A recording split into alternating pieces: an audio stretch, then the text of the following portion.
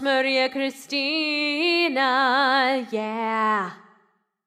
One happy birthday dot com.